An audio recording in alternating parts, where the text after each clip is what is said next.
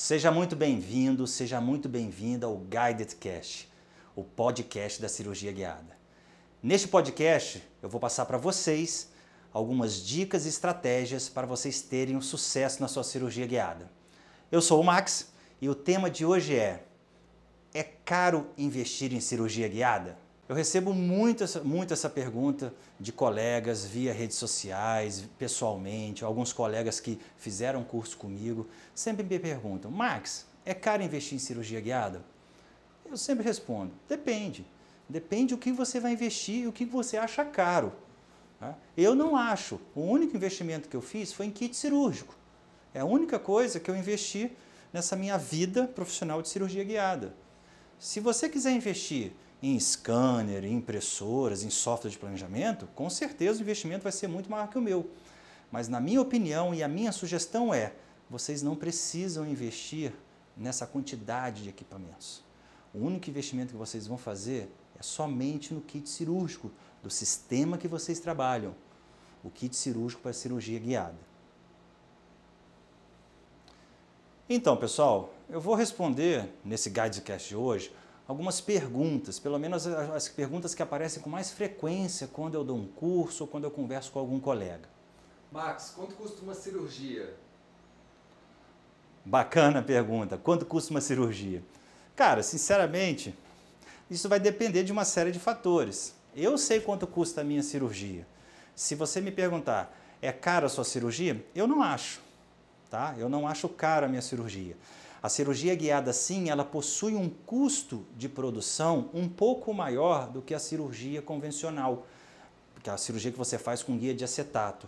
Mas eu vou provar para vocês que esse custo, na maioria das vezes, da cirurgia guiada, ele é menor do que a cirurgia convencional que você faz com guia de acetato. Então, a gente falar de valores, eu acho muito engraçado a gente falar de valores em relação a isso. Pelo menos aqui na minha região, na minha cidade, é, existe um preço tabelado. Né? Sempre muitos colegas perguntam, quanto custa o seu implante, qual é a média? Normalmente o paciente já chega, olha, a média está essa, custo está tanto.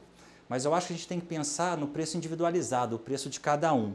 Então, quanto custa a cirurgia? A minha custa X, mas de repente a de você pode custar Y. Então, isso vai depender muito de quanto você investiu, de quanto você estudou, para definir a formação de preço disso.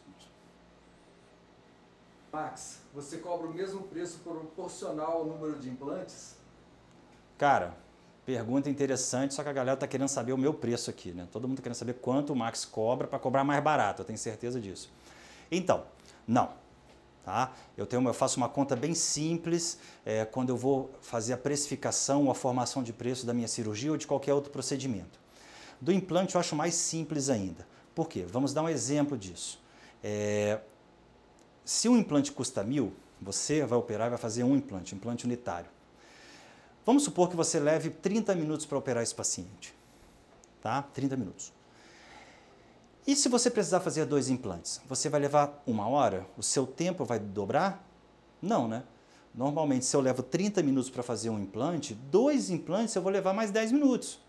Por quê? Porque já está tudo montado. Eu já tenho kit montado, a secretária já está em posição, Está todo mundo, está tudo já alinhado para a gente poder fazer a cirurgia de implante. Então, na minha, no meu conceito, na minha experiência, eu não acho é, justo, é, correto, a gente cobrar multiplicando o valor do implante, se a gente for fazer a mesma cirurgia. Então, se o implante, por exemplo, custa mil, eu vou fazer um implante no meu paciente, se eu vou, se eu vou fazer dois nesse mesmo paciente no mesmo tempo cirúrgico, eu não vejo sentido a gente cobrar dois mil para o paciente. Eu não vejo sentido. A gente modifica isso. Em vez de cobrar mil, em vez de cobrar dois mil, ah não, o implante, senhor, cobra, custa mil reais.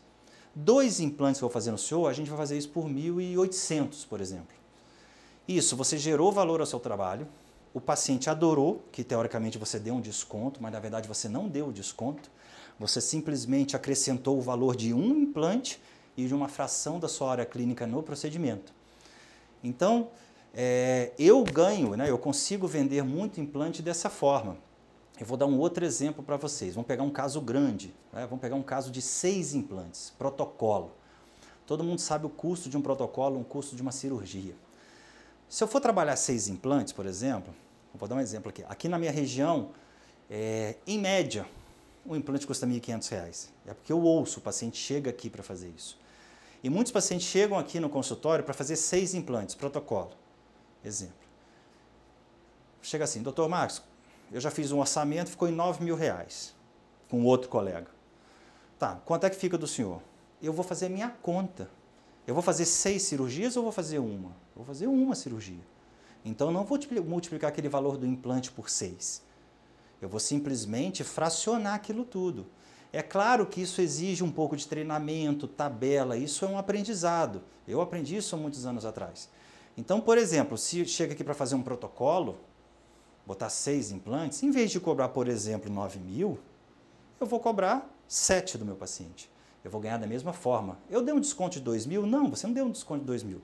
Você vai ganhar a mesma, talvez mais ainda, porque você vai fazer num procedimento só. O que acontece é que muitos colegas não costumam fazer conta e dessa forma acabam na negociação perdendo alguns clientes. Então a minha dica sempre é essa. É, primeiro vocês precisam aprender a precificar o, o, o procedimento de vocês. Tá? Então fica essa dica para vocês. Max, qual a diferença de investimento de uma cirurgia guiada convencional e uma guiada usando moldeira de acetato? Bacana a pergunta. É a primeira pergunta que todo mundo, todo mundo me faz. Todo mundo chega assim, Max, eu já faço de acetato, é baratinho, vou lá e molde e acabou. Beleza. Você já fez conta para isso? Tem que fazer conta. Dentista, desculpa gente, dentista, ele sai da faculdade aprendendo a ser dentista, mais ou menos ainda, né? Ele só aprende a ser, ser gestor, né? entender sobre preço, o que ele cobra, lá na frente. Tá? Então é o seguinte, quando a gente faz um procedimento, o que acontece muitas vezes é o seguinte: o dentista ele, ele leva, tem, tem como base uma tabela do sindicato, a tabela do CFO, por exemplo. Só que muitas vezes aquela tabela não é a realidade dele no consultório. Porque é um dentista, porque como aquela tabela ela é nacional, é um exemplo, tá, gente? A tabela é nacional, só que cada dentista tem o seu custo local. Então ele pega lá, implante custa X. Então, ah, se custa X, eu vou fazer uma moldarinha de acetato, eu vou estar tomando lucro nisso muitas vezes você está tomando prejuízo. Tá?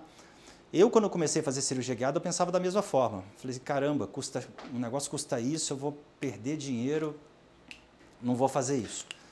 Só que com o tempo, fazendo cirurgia guiada, eu cheguei à conclusão que não é nada disso. A cirurgia guiada hoje, ela me, me gera uma redução de custos, proporcionalmente ao tempo que eu trabalho. Como eu consigo ser mais rápido, eu tenho menos tempo de consulta. Com isso, eu consigo fazer outros procedimentos, atender outros pacientes naquele tempo ou naquelas consultas que seriam perdidas, às vezes no planejamento, numa prova de guia de acetato, numa moldagem. Eu vou provar isso para vocês, tá? Eu fiz uma tabelinha aqui para a gente entender um pouco como é que funciona isso, beleza? Então, o que, que a gente tem aqui? A gente tem, tem uma tabela, o que, que eu descrevi aqui? O material, implante, moldagem, gesso, guia, é, enceramento diagnóstico, consultas, quantas consultas o cliente vem e hora clínica.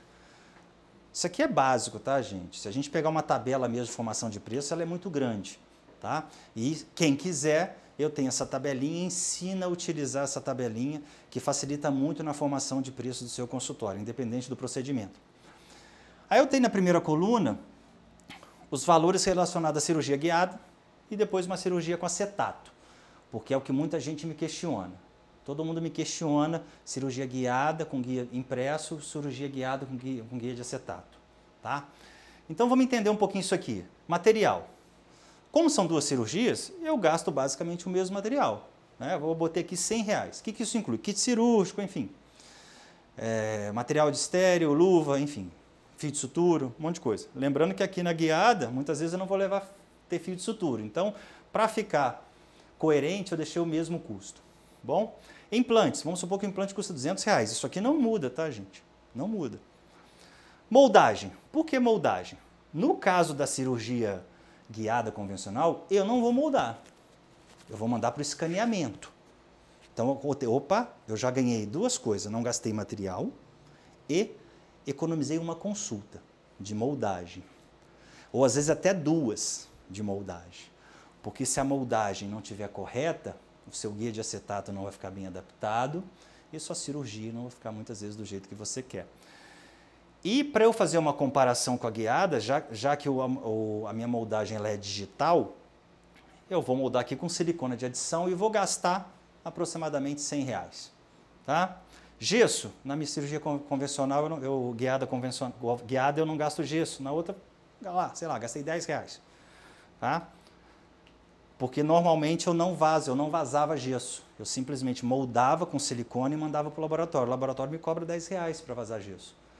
Tá? Se você quiser vazar gesso, vaza bem, beleza, faz isso e corta os 10 reais, não tem problema. Guia.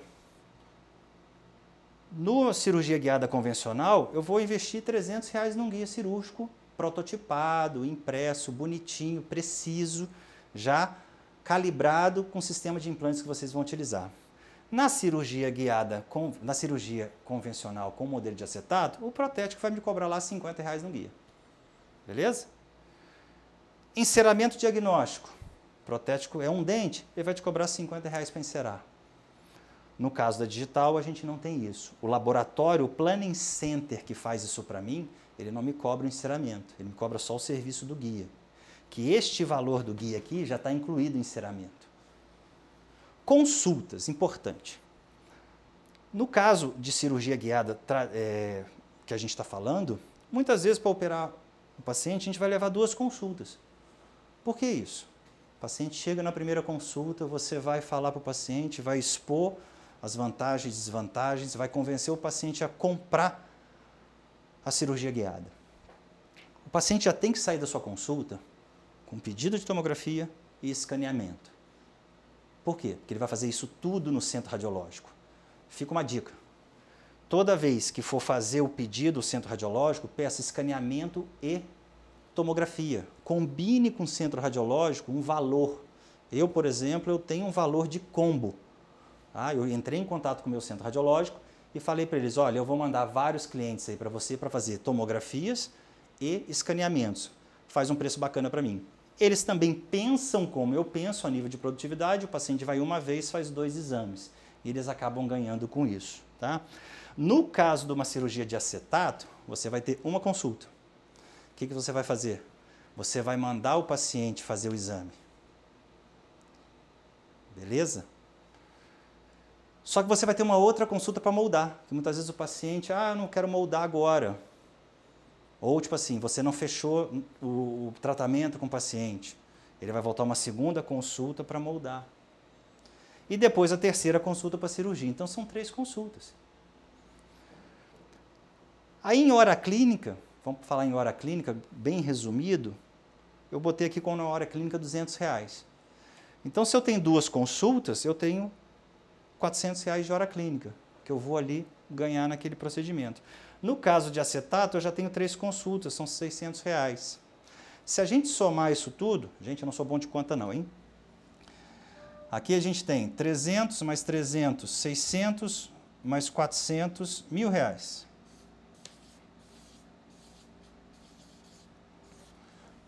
Que você pode cobrar numa cirurgia de implantes. É só um exemplo, tá?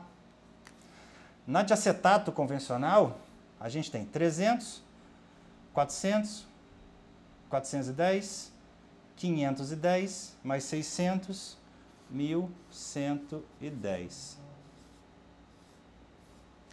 Ou seja, se a gente levar em consideração isso, a minha guiada ela é mais barata. Só que o grande erro do colega dentista, é o que já aconteceu comigo também, é pensar da seguinte forma: nossa, um guia cirúrgico custa 300 reais. Eu não vou fazer não, com o guia cirúrgico que a minha protética cobra, custa 100 reais com enceramento diagnóstico, mas o dentista não faz conta. Isso, gente, para cirurgia de um implante. Quando você vai aumentando o número de implantes, esse seu custo ele fica bem mais barato. Por isso que eu falei anteriormente que como eu cobro o implante? Eu cobro um, digamos, mil, se eu cobrar dois, eu cobro 1.800. Então a gente acaba ganhando com isso. Beleza? Então espero que tenha ficado claro isso para vocês, a pergunta aqui, tá? Que como a gente faz para cobrar do paciente e provei aqui que a cirurgia com acetato ainda fica com um custo maior para vocês. Beleza? Como você chegou nesses valores? Bom, então, é, é claro que para eu chegar nesses valores não foi de uma hora para outra. Né? É, o exemplo sempre que eu dou é o seguinte: quando a gente forma, a faculdade forma a gente como dentista. Né? Mas a gente tem que entender, quando a gente monta um consultório, a gente é um microempresário. Né? A gente sai da faculdade aprendendo a fazer restauração, extração, prótese, enfim. Tá?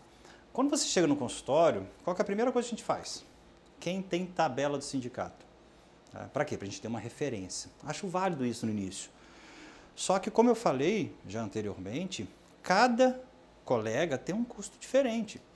Tem um colega que tem um, um, um, um consultório num bairro top e tem um colega que tem um consultório num, num bairro mais simples.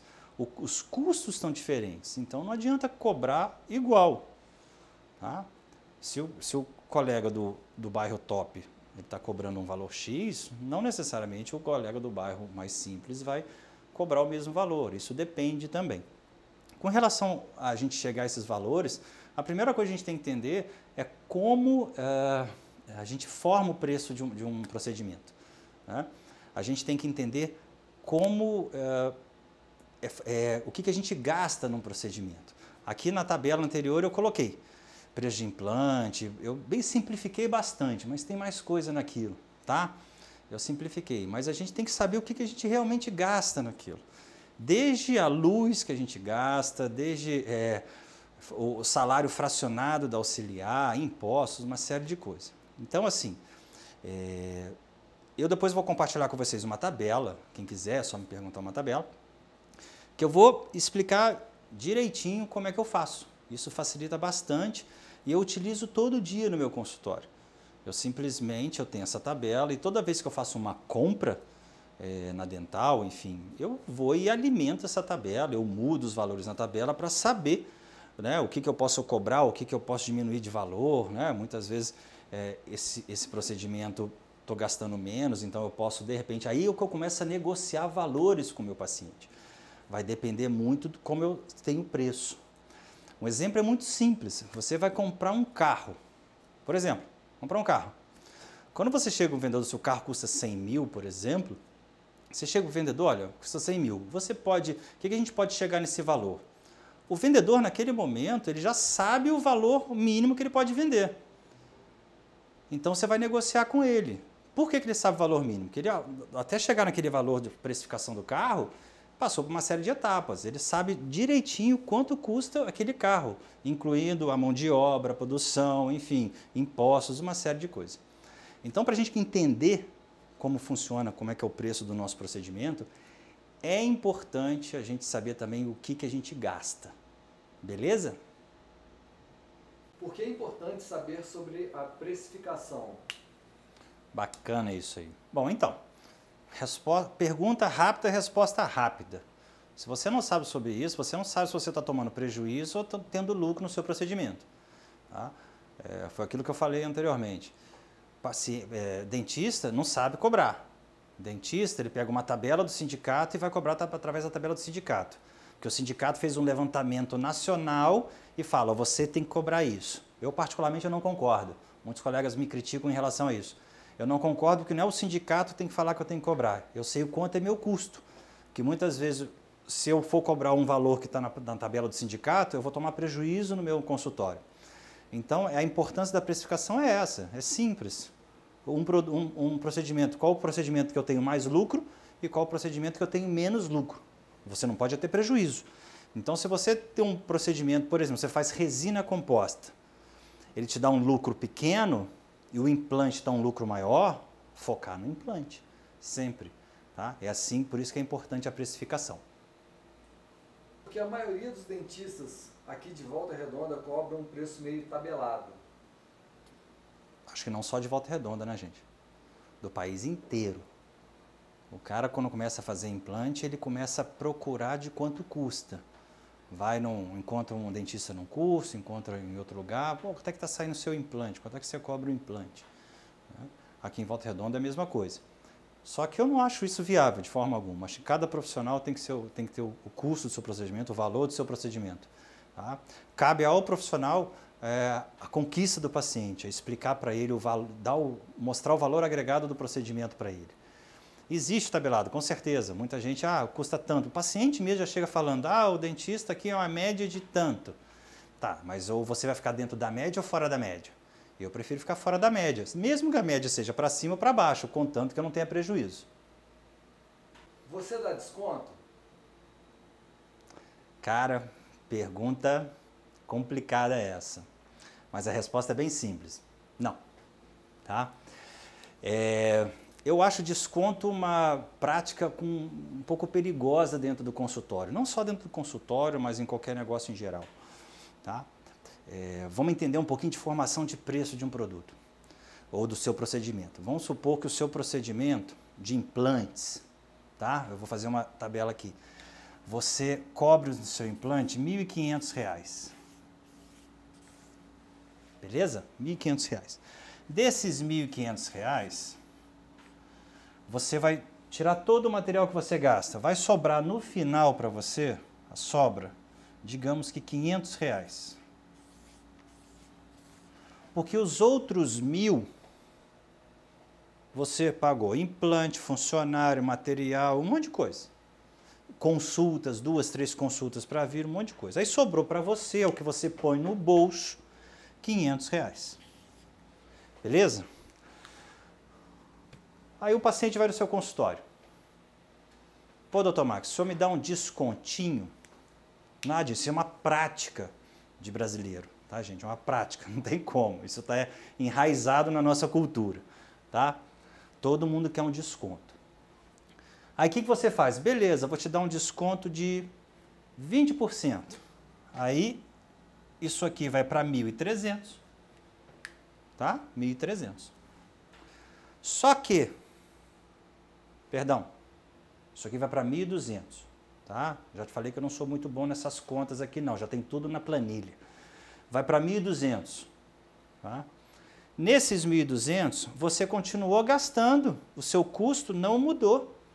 A empresa de implante não te deu desconto, a sua funcionária não te deu desconto, a luz não te deu desconto, ninguém te deu desconto. Então, desses 1.200, você só vai ficar com 200. Ou seja, quando você dá o desconto, você tira da sua retirada, você tira, não tira do valor total, você tira da sua retirada. Antes, quando você ia tirar 500, você agora vai receber 200, porque você deu 300, você deu 20% de desconto. Então tome muito cuidado com isso. Dar desconto em procedimentos é uma prática muito perigosa. Eu penso assim, vários colegas pensam também. Então, assim, quando alguém chega e me pede desconto, eu sou bem sincero, senhor, não tem desconto. Ah, por quê? Porque eu sei que se eu der o desconto, eu vou acabar tirando da minha retirada, do meu prolabore. Então fica essa dica para vocês.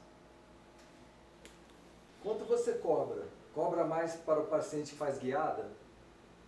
Bom, como eu falei anteriormente, quando eu faço guiada, eu faço toda uma composição de preço da cirurgia guiada.